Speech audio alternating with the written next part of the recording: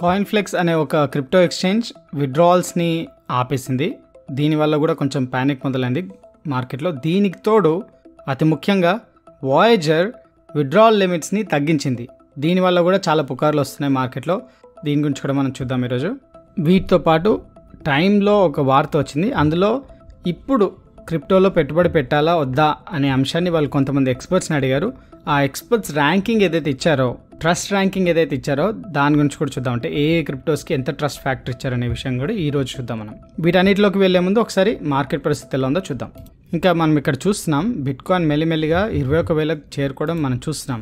గత వారం ఎప్పుడైతే అది పదిహేడు వేలకు టచ్ అయిందో అక్కడ నుంచి మెల్లిమెల్లిగా బిట్ కాయిన్ అనేది ఇరవై వేల దగ్గర స్థిర స్థితికి చేరడానికి ప్రయత్నిస్తున్నట్టుగా మనకు తెలుస్తుంది. ఇక్కడ చూస్తున్నారు స్క్రీన్ పైన. ఇక్కడ చూడండి జూ జూన్ పద్దెనిమిది రోజు అది ఏడు వేల పదిహేడు వేల ఏడు వందలకు చేరుకొని దాని తర్వాత మెల్లిమెల్లిగా పైకి రావడం మొదలుపెట్టింది. అయితే చాలామంది ఏమంటున్నారు ఇదంతా కూడా కేవలం ఒక బేర్ మార్కెట్లో వచ్చే మినీ ర్యాలీ రిలీఫ్ ర్యాలీ లాంటిదే. దీన్ని నమ్మకూడదు దీన్ని నమ్మి పెట్టుబడి పెట్టకూడదు అని చాలామంది అంటున్నారు. కానీ ఎవరికి తెలియదు అంటే చెప్పే ఎవరికి కూడా తెలియదు ఇది నిజంగానే ట్వంటీ థౌజండ్ దగ్గరనే బాటమ్ అయిపోయిందా లేదంటే ఇంకా కిందికి వెళ్తుందా అని తెలియదు ఎందుకంటే గుర్తుపెట్టుకోండి ఈ విషయం ఎవరు మాట్లాడట్లేదు యూట్యూబ్లో గుర్తుపెట్టుకోండి. అందరూ అరవై వేల దగ్గర అరవై తొమ్మిది వేల దగ్గర ఉన్నప్పుడు బిట్ కాయిన్ ఈజీగా అది ఫైవ్ హండ్రెడ్ థౌసండ్ వెళ్ళిపోతుంది త్రీ హండ్రెడ్ థౌసండ్ అంటే మూడు లక్షలు ఉన్న ఐదు లక్షల డాలర్లు వెళ్ళిపోతుంది అలా అనుకుని అనుకొని అనుకొని. అది ఒకసారి పడ్డప్పుడు ప్రతి ఒక్కరు లేదు లేదు ఇది మళ్ళీ వెళ్తుంది మళ్ళీ వెళ్తుంది అన్నారు. ఇది బుల్ మార్కెట్లో ఉన్నప్పుడు. ఒక్కసారి బేర్ మార్కెట్ మొదలు అవ్వగానే ఏడు వేలు ఆరు వేలు పదివేలు ఇలాంటి టార్గెట్స్ ఇస్తున్నారు. మీకు తెలుసు మార్కెట్ పడ్డం మొదలుపెట్టినప్పుడు మేము కొత్తలో పంతొమ్మిది వేల ఐదు వందల నుంచి ఇరవై వేల ఐదు వందల వరకు పడుతుంది. అని చెప్పాం. కాకపోతే టెరల్లోనా మరియు సెల్సియస్ ఇవన్నీ అయ్యేసరికి ఈ బేర్ మార్కెట్లో మనం పద్నాలుగు వేల ఐదు వందల నుంచి పదహారు వేల ఐదు వందల వరకు ఒక ప్రైస్ రేంజ్ చూసే అవకాశం ఉందని మనం చెప్పాం. అలా జరుగుతుంది అలానే జరగాలని ఎక్కడ గ్యారంటీస్ లేవు. గ్యారంటీస్ ఉంటే మీకు తెలుసు ఎవరు పనిచేయరు కాబట్టి ప్రతి ఒక్క స్టేజ్లో డాలర్ కాస్ట్ యావరేజ్ చేసుకుంటూ వెళ్ళడం ఒక మంచి పద్ధతి. అలా చేయండి అలా పెట్టుబడి పెట్టని మేము చెప్పట్లేదు. ఎందుకంటే ఈ ఛానల్లో మేము సలహాలు ఇవ్వం. కేవలం మా అభిప్రాయాలు చెప్తున్నాం. అయితే ఇప్పుడు మనం చూస్తున్నాం టాప్ హండ్రెడ్లో ఇక్కడ పాలిగాన్ ఇరవై నాలుగు శాతం పెరిగి టాప్ హండ్రెడ్లో అన్నిటికన్నా ఎక్కువ పుంజుకున్న టోకెన్గా మనకు కనబడుతుంది. అలాగే ఫ్లెక్స్ కాయిన్ మూడు శాతం పడిపోయి టాప్ హండ్రెడ్లో అన్నిటికన్నా నష్టపోయిన టోకెన్గా మనకు కనబడుతుంది. ఇంకా మనం మొత్తం మార్కెట్లో చూసినట్టయితే మెటావర్స్ ప్లే అనే ఒక టోకెన్ పద్దెనిమిది వందల డెబ్బై ఐదు శాతం పెరిగి మార్కెట్లో అన్నిటికన్నా పుంజుకున్న టోకెన్ గాను అలాగే పాపే ఎనభై తొమ్మిది శాతం పడిపోయి మార్కెట్లో అన్నిటికన్నా నష్టపోయిన టోకెన్ గాను మనకు కనబడుతున్నాయి. ఇది మార్కెట్ పరిస్థితి. ఇంకా మనం వార్తల్లోకి వెళ్దాం. కాయిన్ ఫ్లెక్స్ అనే ఒక క్రిప్టో ఎక్స్చేంజ్ ఈ మార్కెట్ కండిషన్స్ మరీ ఎక్స్ట్రీమ్గా ఉన్నాయి అందుకోసం మేము విడ్రాల్స్ అన్ని ఆపేస్తున్నామని ఒక సంచలన నిర్ణయం తీసుకుంది. అది తీసుకోవడంతోనే మార్కెట్లో మళ్ళొకసారి ఈ సెల్సియస్ వల్ల టెరాలోనా వల్ల పడ్డ దెబ్బ ఆ గాయం యొక్క నొప్పులు అందరికీ మళ్ళీ గుర్తుకొస్తున్నాయి. అయితే ఇక్కడ ఈ కాన్ఫ్లెక్స్ సీఈఓ మార్క్ ల్యాంబ్ గారు ఏం చెప్పారంటే మేము చాలా నమ్మకంతో ఉన్నాము ఈ మార్కెట్ పరిస్థితులు కొంచెం డెవలప్ అవ్వగానే మేము మళ్ళీ విడ్రాల్స్ అవన్నీ కూడా అలౌ చేస్తాం. దాదాపు జూన్ ముప్పై లోపు మళ్ళీ ఈ క్రిప్టో విడ్రాల్స్ మేము అనుమతించే అవకాశం ఉంది అన్నట్టుగా కూడా ఆయన ఒక ఎస్టిమేట్ ఇచ్చారనమాట మనం ఎప్పటి నుంచో చెప్తున్నాం ఎప్పుడే కానీ టోకెన్స్ అనేటివి మీ ఆధీనంలో లేవు అంటే అవి మీ టోకెన్స్ కావు. Not your keys not your coins అని మీకు తెలుసు క్రిప్టోలో అది అందరూ చెప్తుంటారు. కాబట్టి ఈ ఎక్స్చేంజెస్లో పెట్టడం కొంచెం రిస్కీ అని చెప్పుకోవచ్చు. అంటే ట్రేడింగ్ చేసే మట్టుకు ఎక్స్చేంజ్లో పెట్టుకొని ట్రేడింగ్ చేసుకున్న తర్వాత ఎక్స్చేంజ్ తీయడం మంచిది అని ఒక పద్ధతి. ఇంకా మనం చూస్తున్నాం మొన్న టెరలునా దాని తర్వాత సెల్సియస్. ఇప్పుడు కొత్తగా వాయేజర్ వాయేజర్ ఏం చేసింది? నిన్నటిదాకా అందరూ వాయేజర్ పైన ఎక్కువ నమ్మకంతో ఉన్నారు. ఎందుకంటే ఈ పుకార్లు వచ్చాయి. ఏది త్రీ ఏసీలో దానికి చాలా ఎక్కువగా ఎక్స్పోజర్ ఉండింది. దానివల్ల చాలా నష్టాలు తీసుకొచ్చింది అని పుకార్లు వచ్చాయి మార్కెట్లో.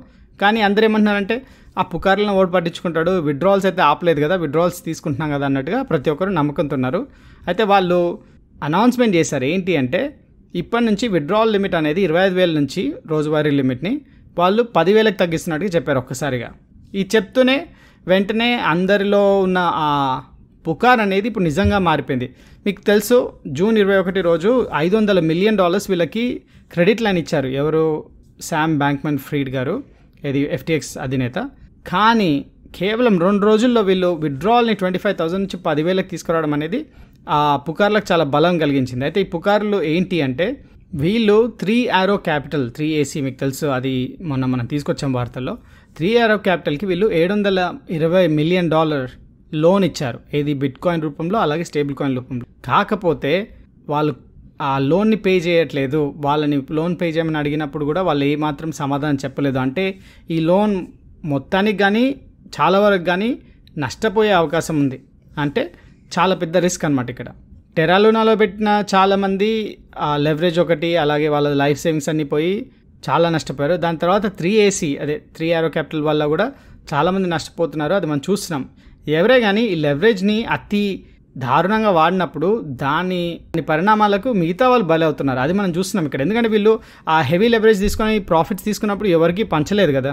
కానీ వాళ్ళు నష్టపోతున్నప్పుడు మొత్తం మార్కెట్ సఫర్ అవుతుంది. దీనివల్ల వాయేజర్ టోకెన్ ఏదైతే ఉందో అది జూన్ ఇరవై ఒకటి రోజు ఒక డాలర్ ఇరవై మూడు సెంట్ల దగ్గర నడుస్తుంది.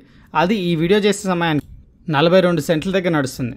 అంటే అరవై శాతం కన్నా ఎక్కువగా పడిపోయిందనమాట ఇది చాలా ఈ మార్కెట్ మొత్తానికి చాలా నెగిటివ్ ప్రభావం తీసుకొస్తుంది. ఎందుకంటే ఆల్రెడీ మనం బేర్ మార్కెట్లో ఉన్నాం. దానికి తోడు మన సెల్సియస్ అంతకుముందు చెరలోనే అయింది. దానివల్ల ఇంకా కిందికి వెళ్ళాం. ఇప్పుడు ఈ కొత్తగా త్రీ ఏసీ వల్ల మిగతా కంపెనీస్ కూడా ప్రభావితం చెందుతున్నాయి. దీనివల్ల చాలామంది పెట్టుబడిదారుల తమ తమ పెట్టుబడులు కోల్పోయే పరిస్థితులు ఏర్పడుతున్నాయని చెప్పేసరికి కొంచెం భయాందోళనలు అనేటివి మరీ ఎక్కువయ్యాయి ఇప్పుడు మార్కెట్లో ఇది ఇంకో విషయం ఏంటంటే ఈ వాయేజర్ అనేది అమెరికాలో పబ్లిక్లీ ట్రేడెడ్ కంపెనీ అంటే దీనివల్ల వచ్చే నష్టాలు వీళ్ళు కేవలం క్రిప్టో పెట్టుబడిదారులకే కాదు వీళ్ళు ఎస్సీసీ అంటే సెక్యూరిటీస్ ఎక్స్చేంజ్ కమిషన్ కూడా సమాధానం చెప్పాల్సిన పరిస్థితి ఏర్పడుతుంది. అక్కడ వాళ్ళకి చాలా పెద్ద చుక్కెదురయ్యే అవకాశం ఉంది. ఎందుకంటే ఎస్సీసీబీల పైన హెవీ ఫైన్స్ కూడా వేసే అవకాశం ఉంది. సో అది కూడా ఏం జరుగుతుంది అనేది మనం చూద్దాం. ఇంకా టైంలో ఒక వార్త వచ్చింది. అందులో వాళ్ళు క్రిప్టో ఎక్స్పర్ట్స్ని అడిగారన్నమాట. ఇది మార్కెట్ డిప్ అయింది కదా ఇప్పుడు పెట్టుబడులు పెట్టొచ్చా లేదా అని. అక్కడ ఏం చెప్తున్నారు? జేపీ మార్గన్ చేజ్ ఇటీవల బిట్కాయిన్ ధరని ముప్పై ఎనిమిది వేలుగా నిర్ధారించింది అంటే ఇప్పుడున్న పరిస్థితిలో తొంభై శాతం డిస్కౌంట్లో ఉంది అని వాళ్ళు చెప్పారు. దాని తర్వాత ఈ బిట్కాయిన్ అనేది వచ్చే రెండేళ్ళలో హండ్రెడ్ థౌజండ్ అంటే లక్ష డాలర్లు తప్పకుండా చేరుతుంది అని జూరియన్ ట్రిమ్మర్ టిమ్మర్ అనే ఒక వ్యక్తి director of global macro Fidelity Investments ఆయన చెప్పారు. దాంతోపాటు క్రిస్ బ్రెండ్లర్ అనే ఒక వ్యక్తి ఈ సంవత్సరం అంతమయ్యేలోపు మనం బిట్కాయిన్ యాభై వేల దగ్గర చూస్తాం అని ఆయన చెప్తున్నారు. అయితే ఇదే ఆర్టికల్లో మీరు స్క్రోల్ డౌన్ చేస్తే మీకు లింక్స్ డిస్క్రిప్షన్లో పెడతాం వెళ్ళి చూడండి. అక్కడ వాళ్ళు ఇన్వెస్టబిలిటీ స్కోర్ ఒకటి ఇచ్చారనమాట ప్రతి ఒక్క టోకెన్కి. అయితే బిట్కాయిన్కి ఎనభై శాతం అంటే eighty out of hundred investability score ఇచ్చారు. అలాగే ఇథీరియంకి అరవై ఎనిమిది సొలానాకి యాభై ఐదు కార్డానోకి యాభై నాలుగు ఇచ్చారు. ఇందులో Binance Tron Dogecoin X R P అవలాన్స్ని కూడా వాళ్ళు కవర్ చేస్తారు. ఇది మీరు అక్కడ వెళ్ళి చూడొచ్చు. అవి ఈరోజు మార్కెట్ పరిస్థితులు మనం చార్ల్స్ హాస్కిన్సన్ గారు కాంగ్రెస్ ముందు ఇచ్చిన నివేదికను కూడా మనం తీసుకొచ్చాం. దాన్ని కూడా చూడండి. ఒకవేళ టైం ఉంటే మొత్తం ఆ కాంగ్రెస్ ముందు ఆయన ఇచ్చిన మొత్తం వివరణను కూడా చూడొచ్చు మీరు I'm trying. Thank you very much. And I know we just have a few seconds left, but there's a lot of discussion about whether we should regulate certain cryptocurrency as commodities or securities. Um, you know, what do you think might the benefits, and maybe you could talk just a little bit about that. Um, you know, what are the drawbacks, things like that. Well, with uh, 37 seconds, I'm sorry. Yeah. uh, No, the gentleman can take as much time as he requires. Oh, thank you, oh, Mr. well, I, Chair. I there you appreciate that. Thank you. I mean, don't push it, but um, It's a fine line here. You here. got to be careful. I'm Italian. um, so, you know, when you look at cryptocurrencies in general, they, I've always viewed them uh, like financial stem cells. They're, they're, they're kind of more fundamental than a particular category, like a currency or a commodity. And really, it depends on the markets they're traded on and the use and utility that they have. Uh, but at, the- at the end of the day, you have to ask yourself what public policy considerations are you attempting to satisfy? Is it sanctions compliance? Is it consumer protection? Is it market stability? What we do as an industry is we're all about transparency. So it's kind of funny we're talking and debating about disclosure regimes. There's no other financial asset in the world that really is as transparent as a cryptocurrency. Every transaction from the very beginning for Bitcoin, for example, from January 3rd, 2009, is known. Every single one, the holdings of the founder are known because all of these things are publicly available to everybody. So it's more about, in my view, understandability and the tooling required to make this work on a global basis.